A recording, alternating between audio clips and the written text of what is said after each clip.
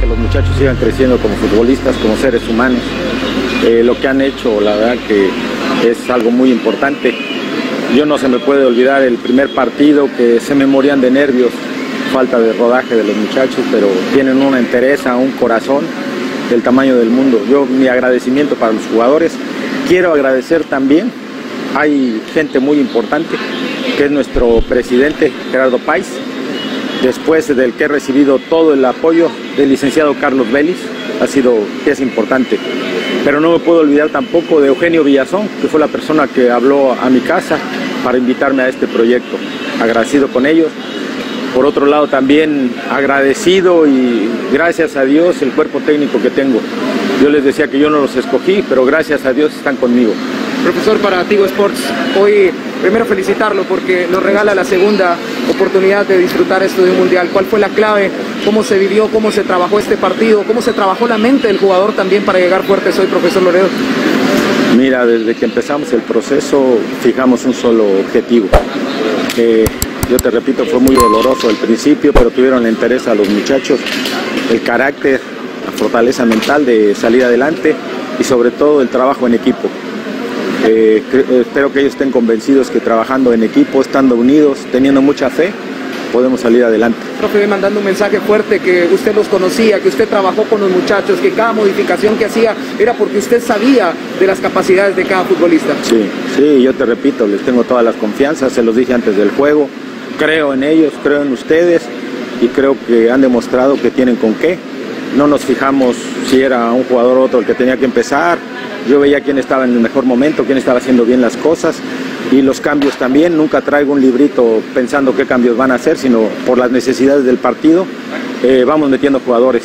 Ahorita les puedo comentar que no venimos al límite, traemos solo nueve jugadores 2003, eh, nueve 2004 y dos 2005 que terminaron jugando también. La verdad que para mí hay jugadores con calidad y metí a los que fue necesario. Profe, el planteamiento sorprendió. Variantes, creo que hasta el mismo México se sorprendió hoy. Y bueno, aguantar hasta el último momento y Guatemala muy bien parado tácticamente, profe. Sí, hicieron un gran trabajo los muchachos. Sabíamos de las rotaciones que ellos tenían en media cancha, de los cambios de posición que hacían por los extremos. Creo que los muchachos se aplicaron muy bien y estoy contento, estoy muy contento por ellos y estoy muy contento por todo Guatemala. No saben lo cálido que son, no saben la gente cómo ha apoyado. Agradezco todos sus cariños a nuestro equipo. Eh, las raíces no se olvidan personalmente que siente dejar a México fuera y de dejar pues hoy a la selección de México en el camino y, y a Guatemala. Mira, te voy a hacer un poquito de historia.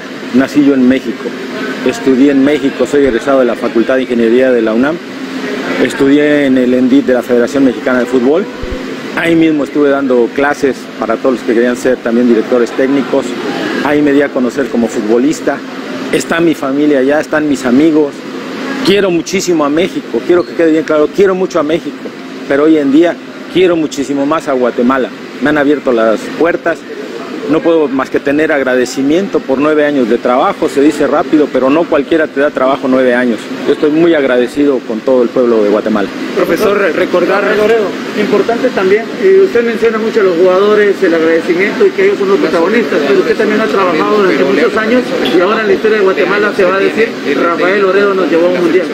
Agradecido, agradecido con la vida, agradecido con todos, pero la verdad es esa, uno como entrenador lo único que tienes que hacer es ser su guía, ser su guía y nada más. Lo que llevan a cabo el trabajo son ellos. El profe puede ser histórico, puede ir a los Juegos Olímpicos también, profe. Sí, la verdad que ahora se abre la posibilidad también, vamos a pelearla. Quiero dejar que los muchachos ahorita disfruten esto porque lo tienen que disfrutar, se lo merecen. Y ya mañana estaremos haciendo planes para el siguiente partido, sería ponerle la cereza al pastel vamos también, igual que todos los partidos hemos jugado, vamos a jugarlos con el corazón también. Guatemala demuestra que no solo participa, que puede competir en el alto rendimiento. Sí, mira, yo les he comentado que yo tengo confianza en el jugador guatemalteco.